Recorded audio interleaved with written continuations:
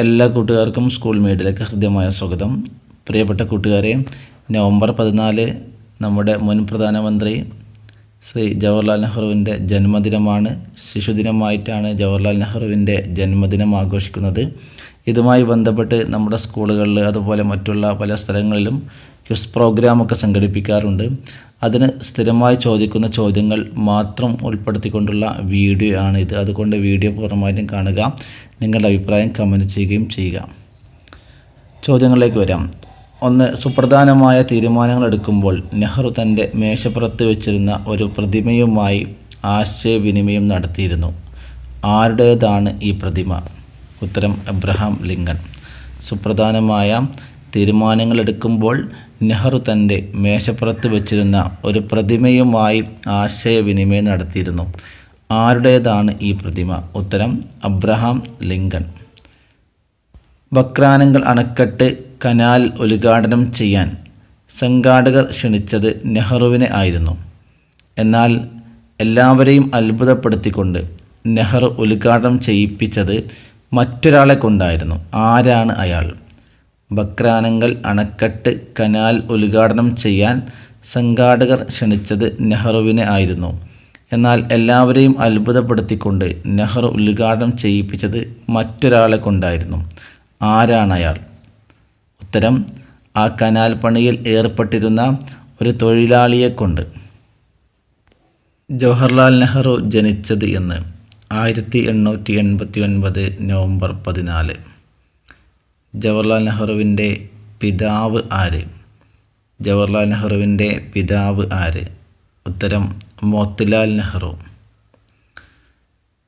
നെഹ്റുവിന്റെ മാതാവ് ആര്? നെഹ്റുവിന്റെ മാതാവ് ആര്? ഉത്തരം സ്വരൂപ് റാണി. നെഹ്റുവിന്റെ പത്നിയുടെ പേര് എന്ത്? നെഹ്റുവിന്റെ പത്നിയുടെ പേര് എന്ത്? ആൻസർ കമല കൗൾ. ഭയത്തിന്റെയും വെറുപ്പിന്റെയും മേൽ വിജയം നേടിയ മനുഷ്യൻ എന്ന് നെഹ്റുവിനെ വിശേഷിപ്പിച്ചത് ആര്? ഭയത്തിന്റെയും വെറുപ്പിന്റെയും മേൽ വിജയം നേടിയ മനുഷ്യൻ എന്ന് നെഹ്റുവിനെ വിശേഷിപ്പിച്ചത് ആര്? ഉത്തരം വിൻസ്റ്റൺ ചർച്ചിൽ. വിൻസ്റ്റൺ ചർച്ചിലാണ് ഭയത്തിന്റെയും വെറുപ്പിന്റെയും മേൽ വിജയം നേടിയ മനുഷ്യൻ എന്ന് നെഹ്റുവിനെ വിശേഷിപ്പിച്ചത്. അലഹാബാദിലെ നെഹ്റുവിന്റെ കുടുംബ വീട്ടിന്റെ പേര് എന്ത്? അലഹാബാദിലെ നെഹ്റുവിന്റെ കുടുംബ വീട് ഏത്? ആൻസർ ആനന്ദ ഭവനം ആനന്ദ ഭവനമാണ് അലഹാബാദിലെ നെഹ്റുവിന്റെ കുടുംബ വീട്. ഋതുരാജൻ എന്ന് നെഹ്റുവിനെ വിശേഷിപ്പിച്ചത് ആര്? ഋതുരാജൻ എന്ന് നെഹ്റുവിനെ വിശേഷിപ്പിച്ചത് ആര്? ഉത്തരം ടാഗോർ. ടാഗോറാണ് ഋതുരാജൻ എന്ന് നെഹ്റുവിനെ വിശേഷിപ്പിച്ചത്. നെഹ്റു ഇംഗ്ലണ്ടിൽ പഠിച്ചിരുന്ന സ്കൂൾ ഏത്? നെഹ്റു ഇംഗ്ലണ്ടിൽ പഠിച്ചിരുന്ന സ്കൂൾ ഏത്? ഉത്തരം Harrow public school. Harrow public സ്കൂളിലായിരുന്നു ഇംഗ്ലണ്ടിൽ ആയിരുന്ന സമയത്ത് നെഹ്റു പഠിച്ചിരുന്നത്. ആയിരത്തി തൊള്ളായിരത്തി അൻപത്തിരണ്ടിൽ രൂപീകൃതമായ നാഷണൽ ഡെവലപ്മെന്റ് കൗൺസിലിന്റെ അധ്യക്ഷനായ ആദ്യ പ്രധാനമന്ത്രി ആര്? ആയിരത്തി തൊള്ളായിരത്തി അൻപത്തിരണ്ടിൽ രൂപീകൃതമായ നാഷണൽ ഡെവലപ്മെന്റ് കൗൺസിലിന്റെ അധ്യക്ഷനായ ആദ്യ ഇന്ത്യൻ പ്രധാനമന്ത്രി ആര്? ഉത്തരം നെഹ്റു. നെഹ്റുവാണ് നാഷണൽ ഡെവലപ്മെന്റ് കൗൺസിലിന്റെ അധ്യക്ഷനായ ആദ്യ പ്രധാനമന്ത്രി. ചാച്ചാജി എന്ന പേരിൽ അറിയപ്പെട്ടിരുന്നത് ആരായിരുന്നു? ചാച്ചാജി എന്ന പേരിൽ എന്ന പേരിൽ അറിയപ്പെട്ടിരുന്നത് ആരായിരുന്നു? ഉത്തരം നെഹ്റു. ആയിരത്തി തൊള്ളായിരത്തി നാൽപ്പത്തിയേഴ് ഓഗസ്റ്റ് പതിനാല് അർദ്ധരാത്രിയിൽ ചെങ്കോട്ടയിൽ നെഹ്റു നടത്തിയ സ്വാതന്ത്ര്യവുമായി ബന്ധപ്പെട്ട പ്രസംഗം ഏത്? ട്രിസ്റ്റ് വിത്ത് ഡസ്റ്റിനി. ആയിരത്തി തൊള്ളായിരത്തി നാൽപ്പത്തിയേഴ് ഓഗസ്റ്റ് പതിനാലിന് അർദ്ധരാത്രിയിൽ ചെങ്കോട്ടയിൽ നെഹ്റു നടത്തിയ സ്വാതന്ത്ര്യവുമായി ബന്ധപ്പെട്ട പ്രസംഗമാണ് tryst with destiny. Glimpses of world history എന്ന ചരിത്രപ്രസിദ്ധമായ ഗ്രന്ഥം രചിച്ചത് ആര്? ഗ്ലിംസസ് ഓഫ് വേൾഡ് ഹിസ്റ്ററി എന്ന ചരിത്രപ്രസിദ്ധമായ ഗ്രന്ഥം രചിച്ചത് ആര്? ഉത്തരം ജവഹർലാൽ നെഹ്റു. ശിശുദിനമായി ആഘോഷിക്കുന്നത് ആരുടെ ജന്മദിനമാണ്? ശിശുദിനമായി ആഘോഷിക്കുന്നത് ആരുടെ ജന്മദിനമാണ്? ഉത്തരം ഇന്ത്യയുടെ ആദ്യ പ്രധാനമന്ത്രി ജവഹർലാൽ നെഹ്റു. ജവഹർലാൽ നെഹ്റുവിന്റെ ജന്മദിനമാണ് ശിശുദിനമായി ആഘോഷിക്കുന്നത്. നെഹ്റുവും ഗാന്ധിജിയും തമ്മിൽ ആദ്യമായി കണ്ടുമുട്ടുന്നത് എവിടെ വെച്ചാണ്? നെഹ്റുവും ഗാന്ധിജിയും തമ്മിൽ ആദ്യമായി കണ്ടുമുട്ടുന്നത് എവിടെ വെച്ചാണ്? ആയിരത്തി തൊള്ളായിരത്തി പതിനാറിലെ ലക്നൗ ഇന്ത്യൻ നാഷണൽ കോൺഗ്രസ് സമ്മേളനത്തിൽ. ലക്നൗവിൽ നടന്നിട്ടുള്ള ഇന്ത്യൻ നാഷണൽ കോൺഗ്രസ് സമ്മേളനത്തിൽ വെച്ചാണ് ആയിരത്തി തൊള്ളായിരത്തി പതിനാറിൽ ഗാന്ധിജിയെ നെഹ്റു ആദ്യമായി കണ്ടുമുട്ടുന്നത്. ഏറ്റവും കൂടുതൽ കാലം ഇന്ത്യയുടെ പ്രധാനമന്ത്രിയായിരുന്നത് ആര്? ഏറ്റവും കൂടുതൽ കാലം ഇന്ത്യയുടെ പ്രധാനമന്ത്രി ആയിരുന്നത് ആര്?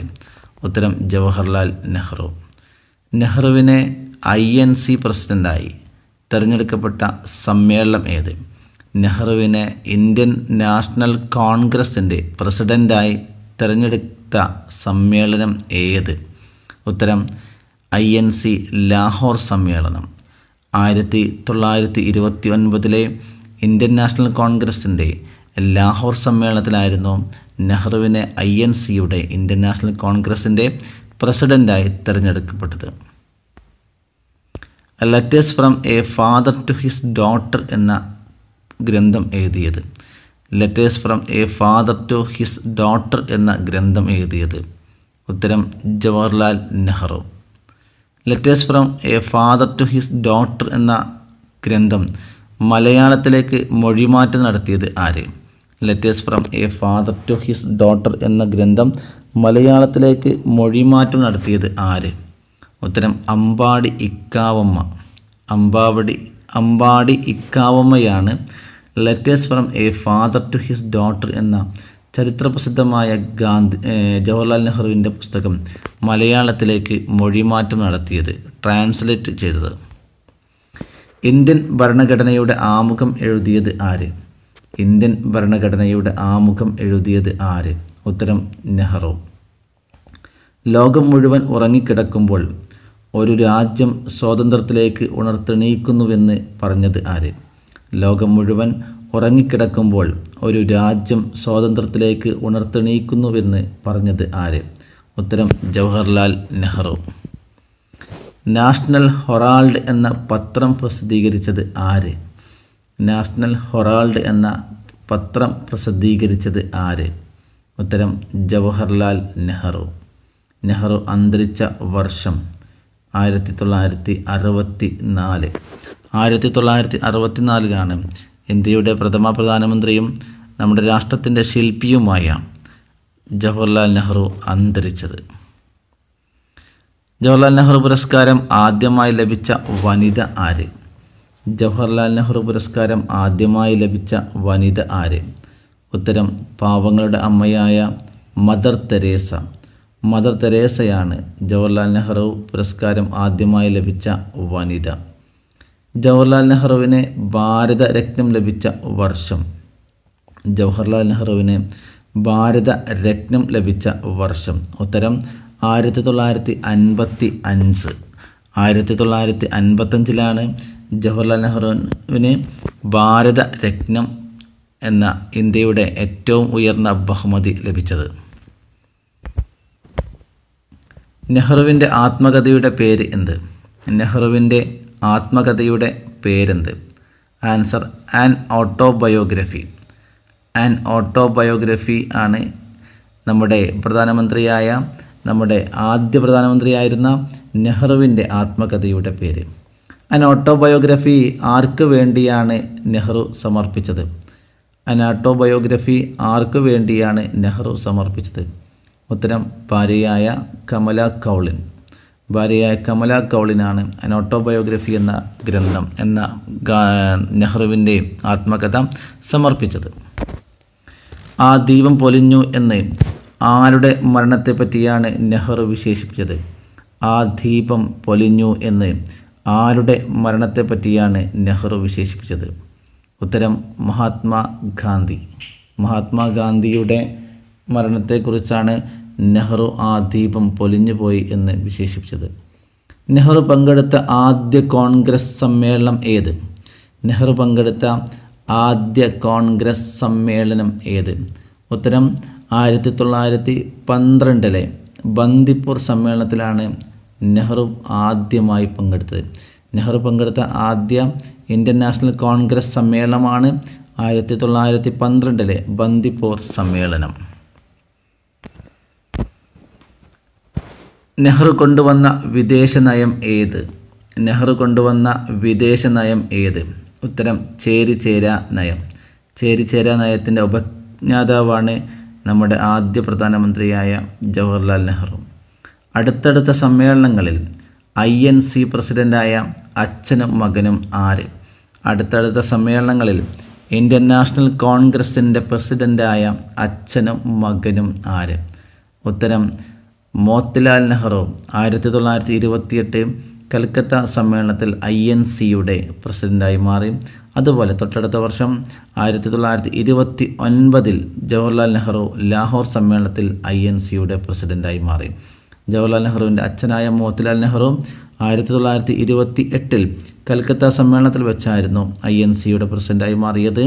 തൊട്ടടുത്ത വർഷം ആയിരത്തി തൊള്ളായിരത്തി ഇരുപത്തി ഒൻപത് അദ്ദേഹത്തിന്റെ മകൻ ഇന്ത്യയുടെ പ്രഥമ പ്രധാനമന്ത്രി ജവഹർലാൽ നെഹ്റു ആയിരത്തി തൊള്ളായിരത്തി ഇരുപത്തി ഒൻപതിൽ ലാഹോർ സമ്മേളനത്തിൽ I N C Indian National കോൺഗ്രസിന്റെ പ്രസിഡന്റായി മാറി. ത്രിവർണ പതാക ആദ്യമായി കോൺഗ്രസ് സമ്മേളനത്തിൽ ഉയർത്തിയത് ആര്? ത്രിവർണ പതാക ആദ്യമായി കോൺഗ്രസ് സമ്മേളനത്തിൽ ഉയർത്തിയത് ആര്? ഉത്തരം ജവഹർലാൽ നെഹ്റു. ഗാന്ധിജിയുടെ രാഷ്ട്രീയ പിൻഗാമി ആര്? ഗാന്ധിജിയുടെ രാഷ്ട്രീയ പിൻഗാമി ആര്? ഉത്തരം ജവഹർലാൽ നെഹ്റു. ജവഹർലാൽ നെഹ്റുവാണ് ഗാന്ധിജിയുടെ രാഷ്ട്രീയ പിൻഗാമി എന്നറിയപ്പെടുന്നത്. ഡിസ്കവറി ഓഫ് ഇന്ത്യ എന്ന പ്രശസ്തമായ പുസ്തകം രചിച്ചത് ആര്? ഡിസ്കവറി ഓഫ് ഇന്ത്യ എന്ന പുസ്തകം എഴുതിയത് ആര്? ഉത്തരം Jawaharlal Nehru. Discovery of India ഇന്ത്യയെ കണ്ടെത്തൽ എന്ന ചരിത്ര പ്രസിദ്ധമായ പുസ്തകത്തിന്റെ രചയിതാവാണ് നമ്മുടെ പ്രഥമ പ്രധാനമന്ത്രിയായ നെഹ്റു. നെഹ്റു അന്ത്യവിശ്രമം കൊള്ളുന്നത് എവിടെയാണ്? നെഹ്റു അന്ത്യവിശ്രമം കൊള്ളുന്നത് എവിടെയാണ്? ഉത്തരം ശാന്തിവനം.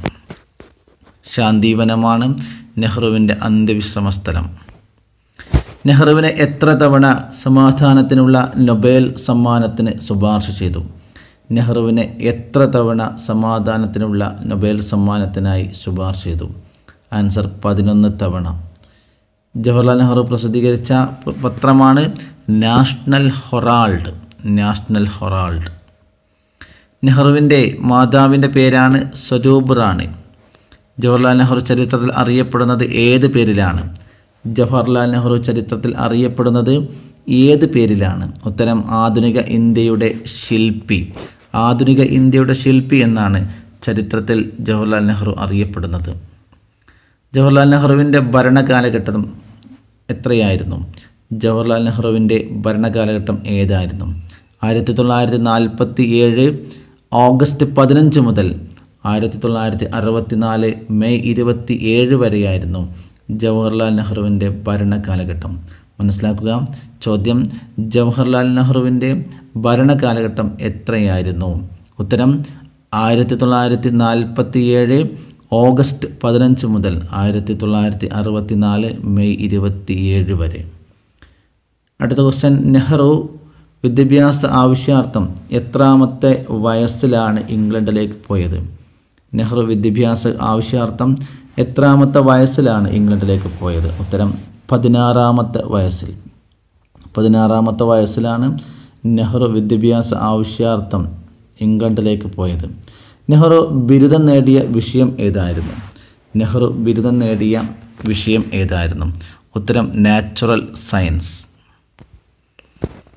നെഹ്റുവിന്റെ മകൾ ഇന്ദിരയുടെ ജനനം എപ്പോഴായിരുന്നു? നെഹ്റുവിന്റെ മകൾ ഇന്ദിരയുടെ ജനനം എപ്പോഴായിരുന്നു? ആൻസർ ആയിരത്തി തൊള്ളായിരത്തി പതിനേഴ് നവംബർ പത്തൊമ്പത്. നവംബർ പത്തൊമ്പതിനാണ് ആയിരത്തി തൊള്ളായിരത്തി പതിനേഴിൽ നവംബർ പത്തൊൻപതിനാണ് ഇന്ത്യയുടെ ഒരുക്കു വനിത എന്നറിയപ്പെട്ട ഇന്ത്യയുടെ ആദ്യ വനിതാ പ്രധാനമന്ത്രി ഇന്ദിരാഗാന്ധിയുടെ ജനനം. ജവഹർലാൽ നെഹ്റുവും അച്ഛൻ മോത്തിലാൽ നെഹ്റുവും ചേർന്ന് ആയിരത്തി തൊള്ളായിരത്തി പത്തൊൻപതിൽ ആരംഭിച്ച വാർത്താ പത്രമേത് ജവഹർലാൽ നെഹ്റുവും അദ്ദേഹത്തിന്റെ അച്ഛൻ മോത്തിലാൽ നെഹ്റുവും ചേർന്ന് ആയിരത്തി തൊള്ളായിരത്തി പത്തൊൻപതിൽ ആരംഭിച്ച പത്രം ഏത്? Answer independence. ഇൻഡിപെൻഡന്റ് എന്ന പത്രമാണ് നെഹ്റുവും അദ്ദേഹത്തിന്റെ അച്ഛൻ മോത്തിലാൽ നെഹ്റുവും ചേർന്ന് ആയിരത്തി തൊള്ളായിരത്തി പത്തൊൻപതിൽ ആരംഭിച്ചത്.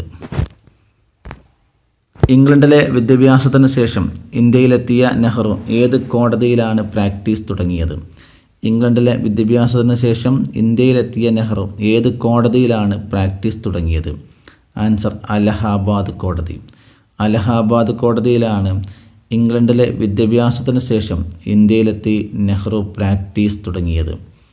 ആയിരത്തി തൊള്ളായിരത്തി ഇരുപത്തി ഒന്നിൽ വെയിൽസ് രാജകുമാരന്റെ ഇന്ത്യ സന്ദർശനത്തിനെതിരെ പ്രതിഷേധ പ്രകടനം നടത്തിയതിന് നെഹ്റുവിന് ലഭിച്ച ശിക്ഷ എന്തായിരുന്നു? ആയിരത്തി തൊള്ളായിരത്തി ഇരുപത്തി ഒന്നിൽ വെയിൽസ് രാജകുമാരന്റെ ഇന്ത്യ സന്ദർശനത്തിനെതിരെ പ്രതിഷേധ പ്രകടനം നടത്തിയതിന് നെഹ്റുവിന് ലഭിച്ച ശിക്ഷ എന്തായിരുന്നു? ആൻസർ ആറ് മാസത്തെ ജയിൽവാസം. ആറ് മാസത്തെ ജയിൽവാസം എന്ന ശിക്ഷ അദ്ദേഹം ആയിരത്തി തൊള്ളായിരത്തി ഇരുപത്തി ഒന്നിലെ വെയിൽസ് രാജകുമാരന്റെ ഇന്ത്യ സന്ദർശനത്തിനെതിരെ പ്രതിഷേധ പ്രകടനം നടത്തിയതിന് ലഭിച്ചു. ഈ കേസിൽ നെഹ്റു ജയിൽ മോചിതനായത് എപ്പോൾ? ഈ കേസിൽ നെഹ്റു ജയിൽ മോചിതനായത് എപ്പോൾ? അതായത് ഏതാണ് കേസ്? നമ്മുടെ ആയിരത്തി തൊള്ളായിരത്തി ഇരുപത്തി ഒന്നിൽ വെയിൽസ് രാജകുമാരന്റെ ഇന്ത്യ സന്ദർശനവുമായി ബന്ധപ്പെട്ട് പ്രതിഷേധ പ്രകടനം നടത്തിയതിന് ജയിൽ മോചിതനായത് എപ്പോൾ? ആയിരത്തി തൊള്ളായിരത്തി ഇരുപത്തി രണ്ട് മാർച്ച് മൂന്നിന്. മാർച്ച് ആയിരത്തി തൊള്ളായിരത്തി ഇരുപത്തിരണ്ട് മാർച്ച് മൂന്നിനായിരുന്നു വെയിൽസ് രാജകുമാരന്റെ ഇന്ത്യ സന്ദർശനത്തിനെതിരെ പ്രകടന പ്രതിഷേധ പ്രകടനം നടത്തിയതിന് ജയിലിൽ ആയതിനു ശേഷം അദ്ദേഹം മോചിതനായത്. അടുത്ത ചോദ്യം അലഹാബാദ് നഗരസഭയുടെ തലവനായി നെഹ്റു തിരഞ്ഞെടുക്കപ്പെട്ട വർഷം. അലഹാബാദ് നഗരസഭയുടെ തലവനായി നെഹ്റു തിരഞ്ഞെടുക്കപ്പെട്ട വർഷം ഏത്? ആൻസർ ആയിരത്തി തൊള്ളായിരത്തി ഇരുപത്തി അഞ്ച് നെഹ്റു ആദ്യമായി ജയിലിൽ പോയ വർഷം നെഹ്റു ആദ്യമായി ജയിലിൽ പോയ വർഷം.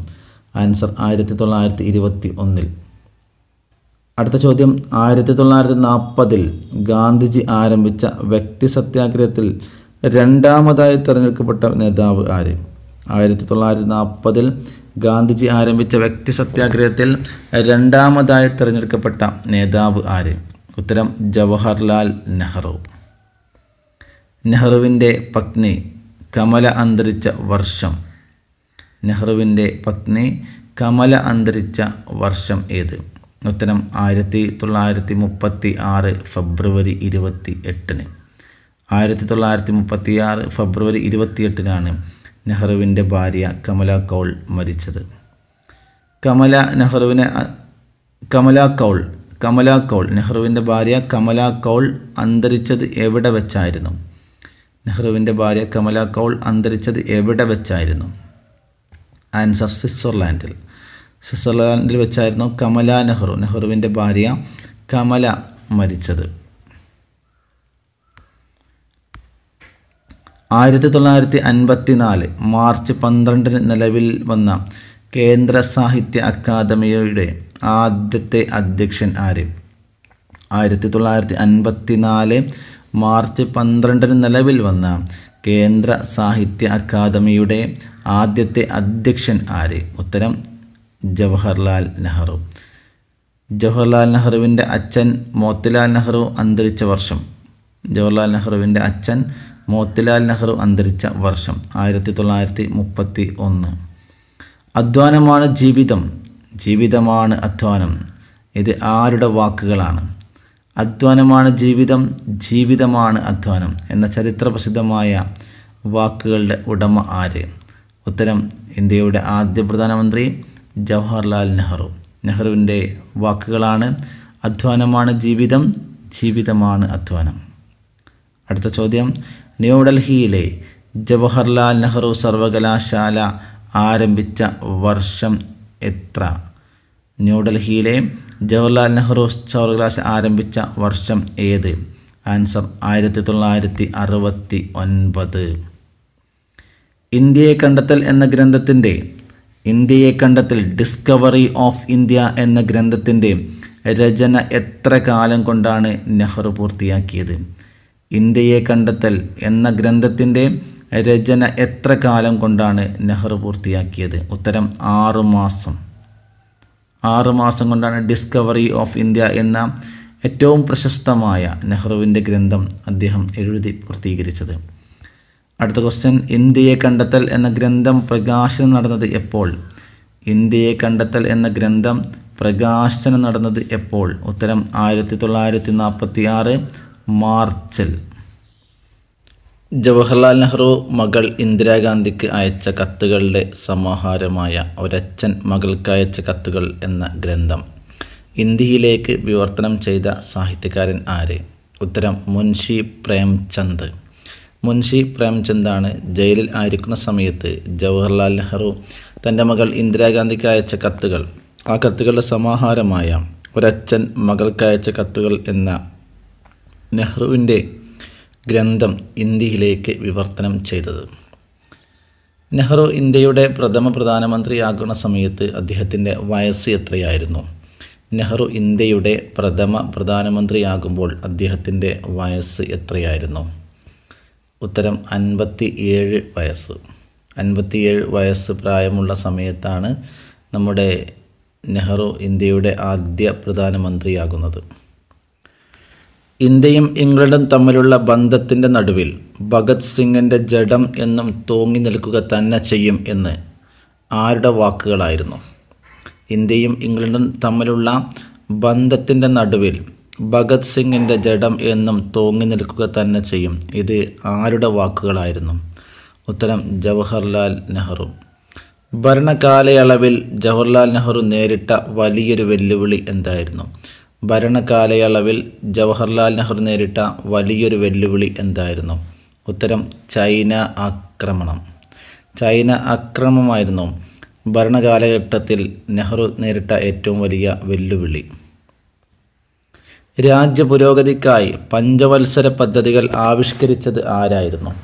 രാജ്യ പുരോഗതിക്കായി പഞ്ചവത്സര പദ്ധതികൾ ആവിഷ്കരിച്ചത് ആരായിരുന്നു? ഉത്തരം ജവഹർലാൽ നെഹ്റു. അന്താരാഷ്ട്ര പ്രശ്നങ്ങളിൽ ഇന്ത്യക്കുള്ള സ്ഥാനം ഉറപ്പിക്കുന്നതിനായി നെഹ്റു ആവിഷ്കരിച്ച വിദേശ നയം ഏതായിരുന്നു?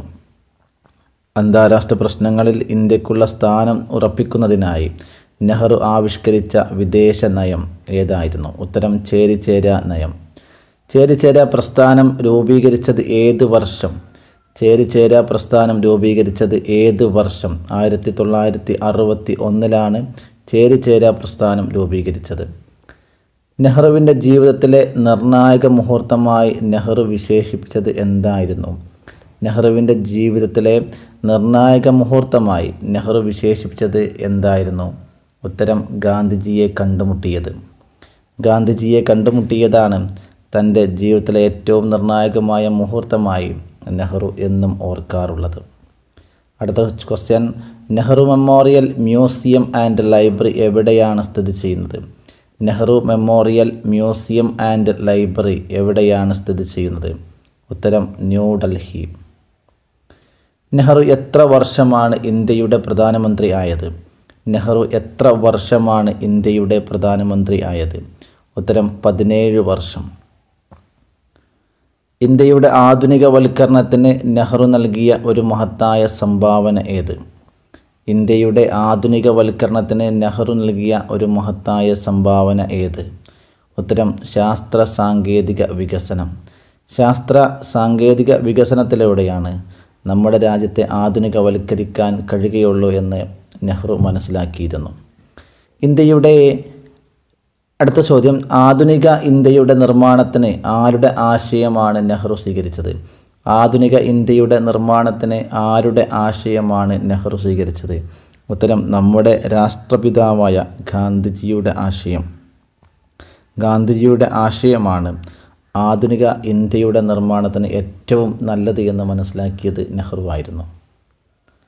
ജവഹർലാൽ നെഹ്റുവിന് പ്രാഥമിക വിദ്യാഭ്യാസം നൽകിയ അധ്യാപകന്റെ പേര് നെഹ്റുവിനെ പ്രാഥമിക വിദ്യാഭ്യാസം നൽകിയ അധ്യാപകന്റെ പേര് ഫർഡിൻഡ് ബ്രൂക്ക്. ഫർഡിൻഡ് ബ്രൂക്ക് എന്ന അധ്യാപകനായിരുന്നു ജവഹർലാൽ നെഹ്റുവിന് പ്രാഥമിക വിദ്യാഭ്യാസം നൽകിയത്. ഫർഡിനൻഡ് ബ്രൂക്ക് ആരുടെ ശിഷ്യനായിരുന്നു? ഫർഡിനൻഡ് ബ്രൂക്ക് ആരുടെ ശിഷ്യനായിരുന്നു? ആനി ബസന്റ് ആനി ബസന്റിന്റെ ശിഷ്യനായിരുന്നു ഫർഡിനൻഡ് ബ്രൂക്ക്. ജവഹർലാൽ നെഹ്റുവിൽ കലയും സാഹിത്യവും ശാസ്ത്രവും വേരുറപ്പിച്ചത് ഏതു അധ്യാപകന്റെ പരിശ്രമ ഫലമായാണ് ജവഹർലാൽ നെഹ്റുവിൽ കലയും സാഹിത്യവും ശാസ്ത്രവും വേരുറപ്പിച്ചത് ഏതു അധ്യാപകന്റെ പരിശ്രമ ഫലമായാണ് ഉത്തരം ഫർഡിനൻഡ് ബ്രോക്ക്. ഫർഡിനൻഡ് ബ്രോക്ക് എന്ന അധ്യാപകനായിരുന്നു നെഹ്റുവിനെ കലയിലേക്കും സാഹിത്യത്തിലേക്കും ശാസ്ത്രമായ പഠനത്തിലേക്കും വഴിതിരിച്ച് വിട്ടത്. അടുത്ത ക്വസ്റ്റ്യൻ ജവഹർലാൽ നെഹ്റു കോൺഗ്രസ് സമ്മേളനത്തിൽ ഒരു സന്ദർശകനായി പ്രവേശിച്ച സമ്മേളനം ഏത്? ജവഹർലാൽ നെഹ്റു കോൺഗ്രസ് സമ്മേളനത്തിൽ ഒരു സന്ദർശകനായി പ്രവേശിച്ച സമ്മേളനം ഏത്? ഉത്തരം ബങ്കിപ്പൂർ കോൺഗ്രസ് സമ്മേളനം. ജവഹർലാൽ നെഹ്റുവിന്റെ സെക്രട്ടറിയായ മലയാളി ആര്? ജവഹർലാൽ നെഹ്റുവിന്റെ സെക്രട്ടറിയായ മലയാളി ആര്? ഉത്തരം എം ഒ മത്തായി. അടുത്ത ചോദ്യം ആയിരത്തി തൊള്ളായിരത്തി നാൽപ്പത്തി ഏഴ് ഓഗസ്റ്റ് പതിനഞ്ചാം തീയതി പാർലമെന്റിൽ മുഴങ്ങിയ നെഹ്റുവിന് ഏറ്റവും ഇഷ്ടപ്പെട്ട ദേശഭക്തി ഗാനം എന്തായിരുന്നു? ആയിരത്തി തൊള്ളായിരത്തി പ നാൽപ്പത്തി ഏഴ് ഓഗസ്റ്റ് പതിനഞ്ചാം തീയതി ഇന്ത്യൻ പാർലമെന്റിൽ മുഴങ്ങിയ നെഹ്റുവിന് ഏറ്റവും ഇഷ്ടപ്പെട്ട ദേശഭക്തി ഗാനം ഏതായിരുന്നു? ഉത്തരം സാരേ ജഹാം സെ അച്ച അല്ലാമ ഇക്ബാൽ രചിച്ച സാരേ ജഹാം സ അച്ച എന്ന ദേശഭക്തി ഗാനമായിരുന്നു നെഹ്റുവിന് ഏറ്റവും ഇഷ്ടപ്പെട്ടത്. നെഹ്റു ഏറ്റവും കൂടുതൽ ബഹുമാനിക്കുകയും ആദരിക്കുകയും ചെയ്തിരുന്ന സംഗീതജ്ഞ ആരാണ്? നെഹ്റു ഏറ്റവും കൂടുതൽ ബഹുമാനിക്കുകയും ആദരിക്കുകയും ചെയ്തിരുന്ന സംഗീതജ്ഞ ആരാണ്? Answer M S Subbulakshmi. കുട്ടികൾ കഴിഞ്ഞാൽ നെഹ്റു ഏറ്റവും ഇഷ്ടപ്പെട്ടിരുന്നത് എന്തിനെയായിരുന്നു? ഉത്തരം വളർത്തുമൃഗങ്ങളെ കുട്ടികൾ കഴിഞ്ഞാൽ നെഹ്റു ഏറ്റവും ഇഷ്ടപ്പെട്ടിരുന്നത് എന്തിനെയായിരുന്നു? ഉത്തരം വളർത്തു വളർത്തുമൃഗങ്ങളെ നെഹ്റു വളർത്തിയ മൃഗങ്ങളിൽ വെച്ച് നെഹ്റുവിന് ഏറ്റവും ഇഷ്ടപ്പെട്ട ജീവി ഏതായിരുന്നു? നെഹ്റു വളർത്തിയ മൃഗങ്ങളിൽ വെച്ച് നെഹ്റുവിന് ഏറ്റവും ഇഷ്ടപ്പെട്ട ജീവി ഏതായിരുന്നു? ഉത്തരം പാണ്ട. നെഹ്റു ഏറ്റവും അധികം ഇഷ്ടപ്പെട്ട കാർട്ടൂണിസ്റ്റ് ആരായിരുന്നു? നെഹ്റു ഏറ്റവും അധികം ഇഷ്ടപ്പെട്ട കാർട്ടൂണിസ്റ്റ് ആരായിരുന്നു? ഉത്തരം ശങ്കർ. ജവഹർലാൽ നെഹ്റുവിനെ എത്ര കടുത്ത ഭാഷയിൽ വേണമെങ്കിലും വിമർശിക്കാം. ചിത്രങ്ങൾ വരച്ച് കളിയാക്കാം. അതിൽ എനിക്കൊരു അപകടമൊന്നുമില്ല. ആരുടേതാണ് ഈ വാക്കുകൾ? ഉത്തരം കാർട്ടൂണിസ്റ്റ് ശങ്കർ. കാർട്ടൂൺ ശങ്കറിന്റെ വാക്കുകളാണ് ജവഹർലാൽ നെഹ്റുവിനെ എത്ര കടുത്ത ഭാഷയിൽ വേണമെങ്കിലും വിമർശിക്കാം. ചിത്രങ്ങൾ വരച്ച് കളിയാക്കാം. അതിൽ എനിക്കൊരപകടമൊന്നുമില്ല ആരുടേതാണ് ഈ വാക്കുകൾ? കാർട്ടൂണിസ്റ്റ് ശങ്കർ. ഏഷ്യാറ്റിക് ഗെയിംസിന് ഏഷ്യൻ ഗെയിംസ് എന്ന പേര് നൽകിയത് ആര്? ഏഷ്യാറ്റിക് ഗെയിംസിന് ഏഷ്യൻ ഗെയിംസ് എന്ന പേര് നൽകിയത് ആര്? ഉത്തരം ജവഹർലാൽ നെഹ്റു. കേരള നിയമസഭയെ അഭിസംബോധന ചെയ്ത ആദ്യ പ്രധാനമന്ത്രി ഏത്? കേരള നിയമസഭയെ അഭിസംബോധന ചെയ്ത ആദ്യ പ്രധാനമന്ത്രി ആര്? ഉത്തരം ജവഹർലാൽ നെഹ്റു. ജവഹർലാൽ നെഹ്റുവാണ് കേരള നിയമസഭയെ അഭിസംബോധന ചെയ്ത ആദ്യ ഇന്ത്യൻ പ്രധാനമന്ത്രി. ജവഹർ എന്ന പദത്തിന്റെ അർത്ഥം രത്നം. ജവഹർ എന്ന പദത്തിന്റെ അർത്ഥം എന്ത്? രത്നം. പ്രിയമുള്ള കൂട്ടുകാരെ ഈ ചോദ്യങ്ങൾ ഇഷ്ടമായോ? ഇഷ്ടമായെങ്കിൽ നിങ്ങൾ ലൈക്ക് ചെയ്യുകയും നിങ്ങളുടെ കൂട്ടുകാരിലേക്ക് ഷെയർ ചെയ്യുകയും ചെയ്യുക. നിങ്ങളുടെ അഭിപ്രായങ്ങൾ കമന്റ് ചെയ്യുകയും ചെയ്യുക. ഓക്കെ ക്രിസ്മസ് നിങ്ങൾക്ക് ഫുൾ മാർക്ക് ലഭിക്കട്ടെ എന്ന ആശംസയുമായി ഈ വീഡിയോയുടെ അവസാനിപ്പിക്കുകയാണ്. ജയ് ഹിന്ദ്.